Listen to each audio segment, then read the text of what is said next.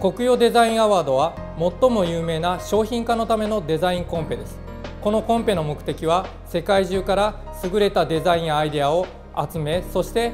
受賞した作品の中から商品化をして世界中の人に使ってもらうことです。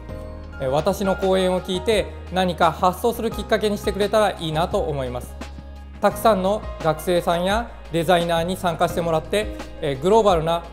活動の場のステップにしていただければと思います。